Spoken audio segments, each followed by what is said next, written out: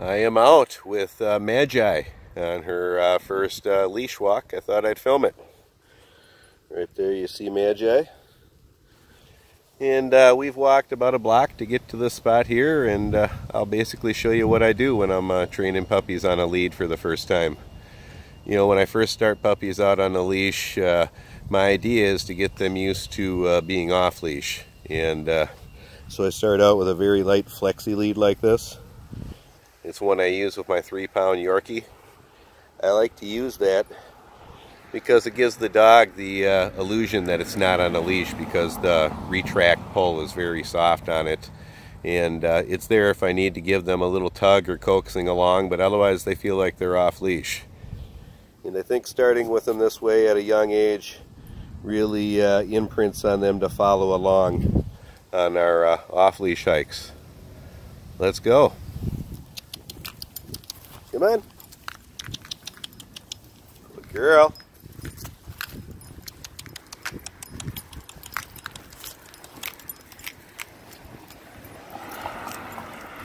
Now, this is all new to her.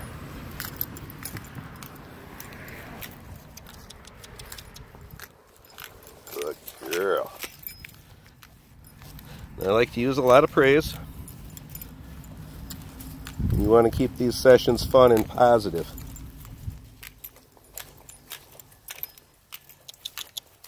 Girl. Now that clicking noise you'll hear me make, that's what I used to call them along. You know, from the time that they, uh, every time I feed them, I make that clicking noise when I give them their food. And they associate it with something positive. So then, good girl, go potty. So then when I'm in a situation like this, when I click, they automatically want to come to me because that's been imprinted on them that that's something positive. And again, all that translates later on to my uh, off-leash stuff with them too. You'll uh, see if you watch some of my uh, videos with me hiking with the dogs off-leash that uh, I often communicate with them in uh, various clicks and whistles.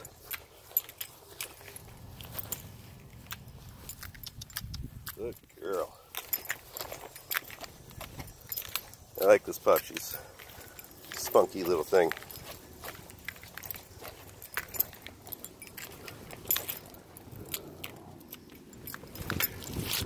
Girl.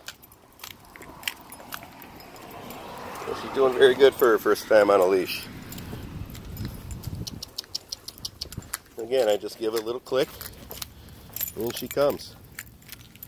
And again, I could have her off leash right now, and she'd be responding the same way.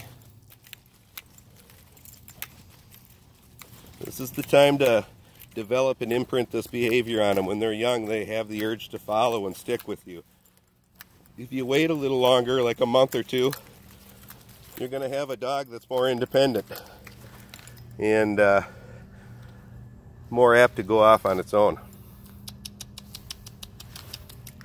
So she's sniffing there. I'm going to give her just a little tug. Come on. Good girl. And then we'll give her a big praise. Good girl. Good girl. Again, you just want to keep it positive.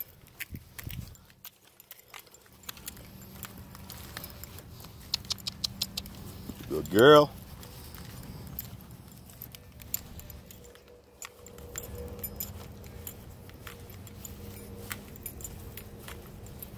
Again, she's a happy pup.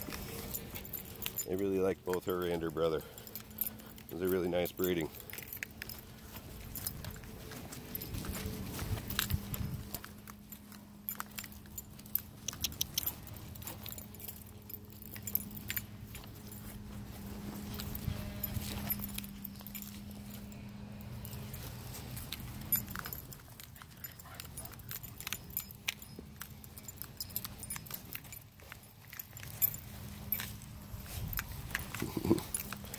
Keep tying me up in the leash when I can't switch hands with the phone.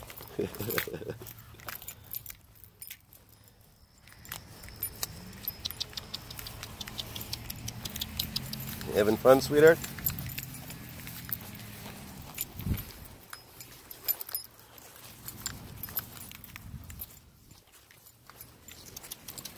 Good girl.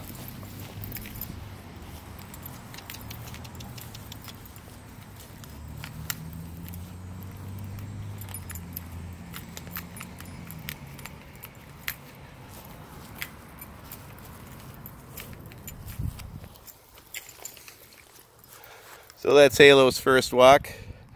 And, uh, or not Halo, jeez. Magi's.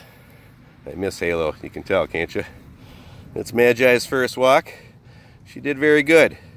Again, just like Rekkr, I've been, uh, you know, for the last 25 years, breeding the uh, Renascence Bulldog to be a working breed, which means that uh, they tend to be more receptive to training and that than your typical bull breed, because again, that's what I've selected for over the last 25 years. I think you can see with uh, some of the puppies I've shown recently that uh, they take to training pretty easy and aren't uh, as stubborn as your typical bull breeds. I hope you enjoyed this. Like, subscribe, and share.